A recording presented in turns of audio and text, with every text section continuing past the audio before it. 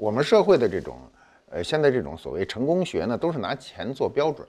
我们今天社会是用这个，过去文人还能成功，今天文人成不了功。就是你小说写的再好，你那小说不卖钱，你也不算什么，一定要卖钱。然后呢，电影一定得有票房。票房，对你比如说，你你一个作家，这个获了个什么奖，你小说大卖，然后马上人就给你归为这个什么作家作家富豪榜对我他妈还被归一对对，这是前十常客。啊，然后呢，我说这这个他都是拿钱来衡量这个成功。所以导致这些刚走入社会，其实大学已经算走入社会，因为它不是义务教育嘛。那么他就这种攀比型，就是我们社会的这个标准全定在那儿。就是我我我我，其实我写了一篇文章，我就说是他们是无辜的，就这些女孩，社会是有责任的，哎，是社会的引导的问题。那么引导问题呢，你高处的问题就是你的社会的目标定制的对他们极大的诱惑，就你说消费主义。呃，第一等问题就是他刚才一开始就说到了，是你金融系统的问题。两五百块钱，你随便办个卡也得他妈随便刷出去，对不对？凭什么我非得去弄他们这事儿去？哎，就是中国金融系统的一个悲哀。就中国信金融系统不现在老在这种这个改革嘛？对啊，其实这种大学校园，你把信用卡给他，如果他花冒了啊，因为信用卡有的给的很低的，就是两三千块钱，那么。在今天全银行系统沟通的情况下，你这个代价会很大。那个可是那个息是低的呀，他们这个事儿主要就是息太高了，最高的息是按日计你还不上的。对，就是他那个大学校园卡，这个信用卡为什么退出去了？是因为大学生的违约率比较高。高对，因为他们有时候就换一手机号，我就不还了这种的。而这种高利贷是我维持在百分之五十的这种违约率，我都能赚很多钱。都能赚钱，对。我还我他违违约达达到七十都还赚钱了，还能赚哈。我也看到这个有人说这个有人放贷的时候，我这行也干不了了。就跟你说有人跑了那种的，有的人带了十几家，有的女大学生也挺厉害的。那我就不在乎我的照片，我带了十几家之后我消失了。说坏账太多，我也不想干了。有我看有人还说这个，还有还有他那个裸照现在只能把它理解成天体主义者。不是，我跟你说，还有那种片中片呢，特有意思。我看一个一个案例哈，就这个女孩啊，她特贼，她上网敲所有的这个放贷公司，她跟所有的放贷公司去聊，聊聊聊聊聊聊到了一个最合适的价钱，他觉得这家价钱是最便宜合理的，然后就反复谈条件，谈完最终条件以后呢。那人把他的就是这个最合理的公司，所谓最合理就是便宜嘛，把他的所有资料拿走了，没房贷就跑了。就是他还碰见过骗子呢，骗中骗啊，骗中骗。就是他为什么你认为合理呢？就是他就是条件诱惑你嘛，你把因为你是必须让他审查通过才能放贷。对，你比如你把照完裸照是吧？他说不行，说这个审查没通过，你还得要视频。你的视频必须得去哪哪哪，还得超过八分钟，什么这个那个。那有的人就说，你怎么一开始没跟我说？我给你一个 裸照，我就已经下了很大决心。你又弄这视频，那视频这个就是惨不忍睹的那种视频，他就不可不干了，不干了，等于前面就前功尽弃了，对不对？对。按理说，就说那最低的五百块钱就拍这种裸照，那我认为这裸照早就值了五百块。还还上这这怎么算的？这都不知道怎么算呢？这太不值钱了。广美，你作为女女性啊，这这这你你能理解妹妹们吗？不能理解。我我觉得这个话题，我真的我心里很真的，我觉得很沉重，因为我我只能说我很庆幸我没有女儿。那你你原来上学的时候呢？台湾有贫富差距的那个时候，那当然也是有。所以刚才我觉得马老师刚才讲的，说我我是属于这种高高在上的朴素，其实这个我我我真的没有办法，没有没有办法接受，没有办法认同，因为我也是穷人家小孩子出来，我可能没有苦到说从什么得上小时候上学得走两小时路，我们当然那个时候不会这么糟糕，但是嗯，我觉得家庭教育很重要，然后社会教育很重要，所以您刚才讲说。这个社会社会要不要负起责任？社会要负起责任。但是你觉得那些女孩是无辜的，我也不赞同。为什么他们是无辜的？今天如果说你的这个叫裸什么东西，裸贷，裸贷，你是为了要去买一个你负担不起的书，或者是你负担不起的学费，那我还打从心里就是我真的会很同情你，我甚至愿意去帮助你，让你不要去进入这么悲惨的一一个一个轨道。但是如果今天你告诉我你去裸贷是为了要买一个。化妆品、保养品，我。我真的是我我对我我是打从心里看不起哎的。，可是呢，女生们一块儿出去，明显的那个有回头率的，或者男生会看上的，就是，哎，人家画的漂漂亮亮，行头一流的，文涛，有的时候，女女孩的美丽跟她的回头率，真心不是靠这些东西可以装扮的出来。有时候是你心真的是我讲这个好像感觉很虚，但是真的是打从心里面出来的东西。有时候这些东西会让你变得很丑的。啊，如果你去做了裸贷这样的事情，我真心不认为你是可以昂头挺胸的、很骄傲的走在路上。我我不晓得。那那是你，但是我跟你说，人都有呃绝绝境的时候，这我就就呃你包括广美，我记得啊，咱们这么这么这么这么熟，你也有过这人生的这个这个坎坷，比如说，哎，我记得你是借过钱的，比如说从香港那个时候嘛，呃跟跟跟上一个怎么怎么怎么着，那个时候不是也是家财都都净尽了吗？那你那个时候好像也是，你怎么借的钱？我没有借钱，我就是卖我自己的东西。你十万块钱的东西，你就三千块卖掉。你原本你我啊这等于变卖家产。变我我原本两台车子呀，我两辆车，一辆吉普车，一辆跑车，就是卖。你一百万买的东西，我十万块卖掉，我还我我就不相信那十万块钱我会活不下去。你原本头等舱你可以坐商务舱，商务舱坐不了，你还可以坐经济舱，经济舱再不能坐，你不飞了，行吧？哦，你那时候这么过去的，嗯，那起点还是跟大学女生不太一样。不是他们有这个车可卖你去看啊，他不是他这个很复杂，不是这个事儿，这是其中很小一部分。对对，这这这不是其中重要的。有一个我看那个例子啊，她那个女孩为什么贷款啊？她为男朋友，哎，也有这一路。这是不是很值得同情？她为了不知道不知道就是我觉得这个她呢是没钱，跟男朋友就是 带来的钱实际上是花在男朋友身上了，最后男朋友还把她抛弃了。所以他们的这种价值观和人生观呢，就我刚才说的，就是全社会的指向非常明确，就是你得有钱。对，所以不管这个事儿是什么事儿，是你买化妆品，还是买包，还是追男朋友，还是要干嘛，哪怕就是你交学费。现在你没有钱，这个事儿就做不成，这是全社会告诉你的。你说到根儿上了，我就觉得咱好像也没没辙了。嗯，就是钱成了最重要、唯一的。成年人教会他们这样的呀，这对对大人们这样，这咱们之间不也是这么？现在今天最牛的人是首富。嗯，马爷，你觉得这玩意儿将来咱就这么下去了吗？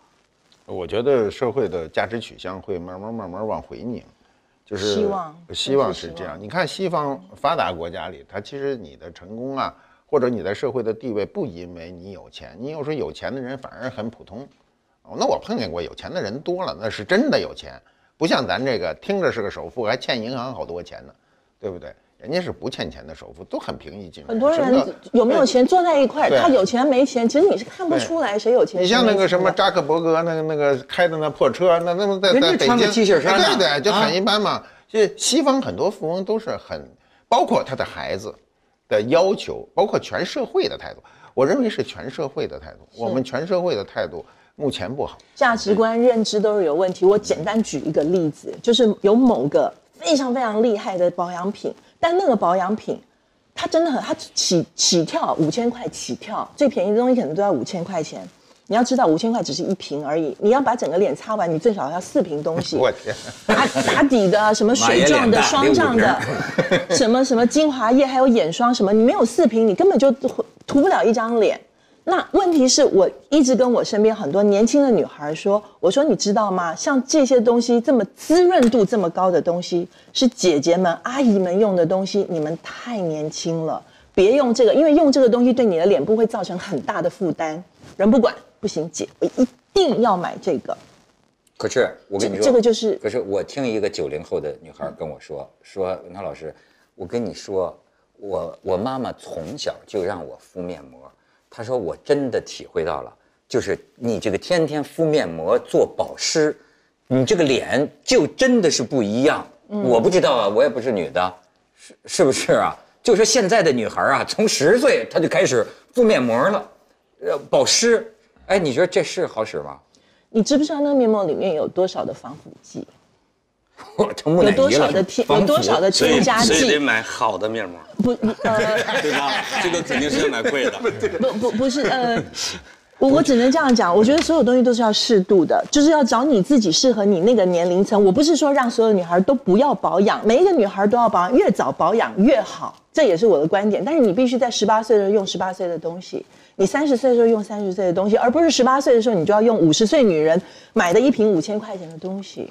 但是我觉得这个皮肤有很多时候都是天生丽质，我也见过那女的就是是啥也不保养，那皮肤比谁都好，那你没辙。真的就是我，我可能这个这个比较错误了吧？就是我怎么觉得今天女孩的这个皮肤，不如我印象中我们中学的女生女女同学脸上的皮肤好。那时候现在有雾霾，那时候没有，雾霾很伤害皮肤的。呃，对对对，所以说你看，所有地方的这个咱们这个毒素加起来，对对造成这个病态的社会、病态的女性啊。好像光美变态的女性，好像男性就都不变态不不了。都是变态的男性，才有了 才有了女性的这心酸。第一第一直男癌这个地位不可动摇。对对对，向向向向向广美学习。我我真的觉得皮肤就是他妈天生的。对，不是我妈我妈七十几了，我妈皮肤比我还好呢。对吧他这是天他有资格说这话，您这脸就别说这话不是了。我们我们年轻的时候，那个性的最大特征是神秘，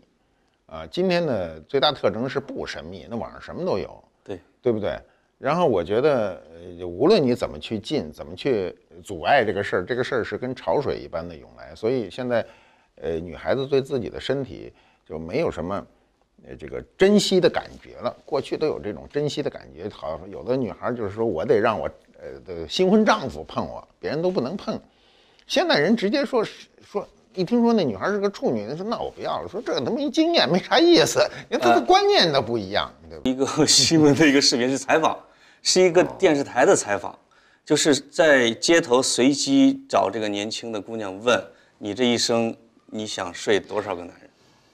我看到的数字最高的那个说两百多个吧，然后说你现在已经睡了多少个？说一百多个，而且特别严肃、很正常的在回答这个问题。哎呦，你还有一个带着男朋友的，问这个女孩，她带着男朋友在旁边站着，我睡了十来个了吧？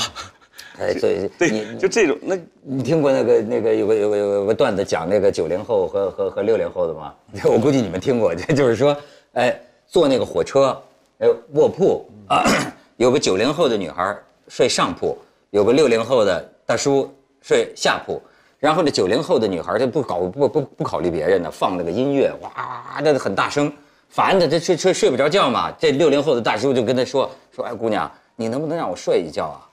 这姑娘看着大叔看了一会儿，说：“行，上来吧。”你说这这哎，你现我我觉得这个价值观念对于有些女孩子来说，一个这个这都就可以，这这都多了，可以睡两觉了，可以跟大叔睡两觉。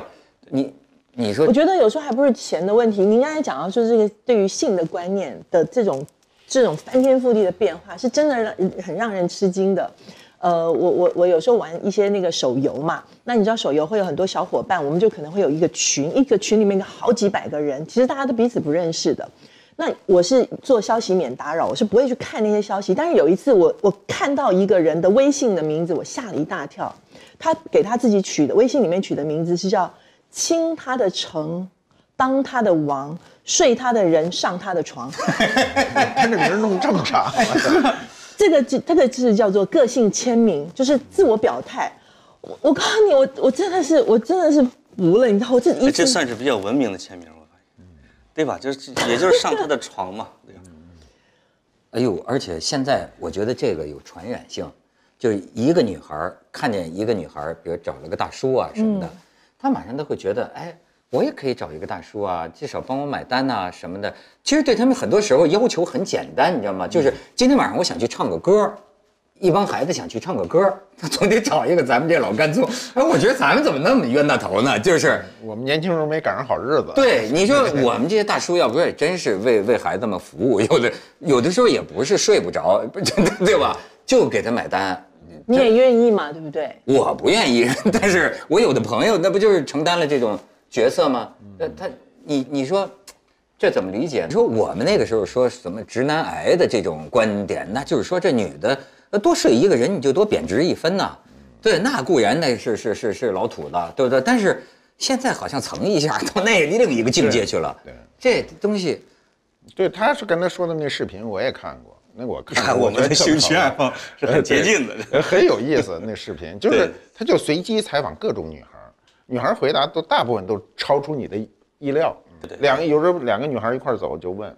说你你你一生中要睡多少个女孩？那女孩说她已经睡了十多个了。她闺蜜说 闺蜜直接说，嗯，有的呃最什么我里头说的最保守的人，就是最为保守的一个人说睡仨，这就是最保守的，说要找一个人就是没结婚的人，还有一个以后还要有一个结婚的人，也不怎么还有一个什么人 是那个，他说这三个，那个说是在大学里边谈一个，谈一个这种傻小子，嗯，大学之后要找一渣男，嗯，啊，被这渣男骗一回，最后找一老实人给这嫁了。是这是里头 这是完满的人生。啊，他说这三个，这是里头要求最少的一个人，剩下都是十个二十个，最多的二百个，对对对对我对。天，二百个。其实那个是我觉得挺具有这种研究价值的这种采访，对，而且都一代人很说的观念都。很自然，没有一个人是很拘谨的说，是吧？其实我们说这种问题有点不好意思哈，人家接受采访的时候是很内心很健康的一种事儿，哎，也有可能你你你不好意思，我们不健康那我有些朋友可得意了，就是你知道，就是说赶上好时候，大叔赶上好时候啊，就是，哎，我有一个从美国回来的一个一个一个朋友啊，他就说，他说你要在在美国，就中国现在对我们这老男人是最好的时候。说在美国哪有这十六七岁的小女孩陪我们这岁数的人玩啊？他说可是在中国对吧？有钱我哗啦啦这整天招一大堆都没问题，我也也没花太太多钱，有的时候就是给买个单。这就是不能全怪那些女孩的原因。对，这个供给侧和需求侧也同样重要。就老男人这供给侧改革，非常重要，没错，是吧？很重要。供给侧改革，对，所以也所以得谴责。你你知道他们写就是讲就是说什么就是说消费主义，这个还有什么社交媒体等等这些是一只巨兽啊，就是说在吞噬我们的这个这个灵魂。灵新一代的灵魂，就是我刚才跟你讲的大学老师，他说你们要同情这些女孩子，他说我认为有同情之处，他说因为什么呢？呃，一九九九年他去这个重庆叫什么巫山乡啊，就做调查。他说一九九九年那个时候我做的这个中小学孩子就是现在的这个大学生。他说你们要知道极度贫乏带来的这个后后遗的这种意识。但那个时候，比如说我调查一个小学，呃，四百多四五百个这个学生，他说走山路，每天呃一两个小时才能上到学的孩子，就占到了一半两百多个孩子。午餐的时候，就是一半儿的孩子没有午餐。他就说，那说你想这样的孩子，他上了大学，而且我就觉得，我真觉得我们六零后，我上大学的时候一样穷，没这种虚荣心，真的就是说，他这种虚荣心，我有时候表现，有时候我看到，我觉得好可怜，就是怎么现在会出现那你你家境好，你比如我觉得要是我的孩子碰到这个，我心里就特心酸，我特希望让他不缺钱花，因为我见过那俩女孩儿，你知道一个家境不好的女孩儿，现在要是跟那个富二代的一个女孩，俩人一起出去还交朋友，出去逛街，我就看着不落忍啊。那富二代女孩就是，他帮富二代女孩提着行李箱，那富二代女孩买的那个东西就成箱，然后什么喝个咖啡啊，喝个冰茶，都是这富二代女孩给他买单。于是这这个贫穷的这个女孩就有一种奴颜卑膝的那种感觉。哎呦，我觉得这太心酸了。那个泄露的资料里边有这样一个资料，说，呃，那个专业上有两大专业是最占，一个是师范专业，一个是医学专业。中西部院校的师范专业是交钱交学费交的最少的，这我们都知道。就上师范以前是免费的，现在是不免费了，但是它学费是交的最少。你比如像金融专业、计算机专业或者是这个这一类的专业呢，是出身不错的那些人报的，因为他的学费很贵，他可能一年就是一两万块钱的那种，他们这个穷人的孩子是报不起的。就是我们没有完整的调查那些被骗的女孩的家庭的财政状况，但是我从他们的这个专业大致能猜出来，就是就刚才你说的那个，出身贫寒的女孩啊，到了城市了以后，就是别人都在炫富，其实自己又没有钱支撑这个东西的时候，我拿一个化妆品也也算呀，就是这种有可能背后是一个很大的一个关于自尊心和虚荣心的这样的一个东西。对呀、就是人靠衣装。我的意思就是说啊，真富就是真富，真穷就是真穷。但是现在好像他们说是消费主义是什么意思啊？就是靠俩符号，哎，我用得起这个，我就是广美这一层次的女的。但甭管实际上，那这不是广美还说呢？一出去就广美实际特朴实，你知道吗？就是，呃，经常被人家瞧不上。不不不，他朴实，这不是是这样，他朴实是是是在高高在上的一个朴实是两回事儿。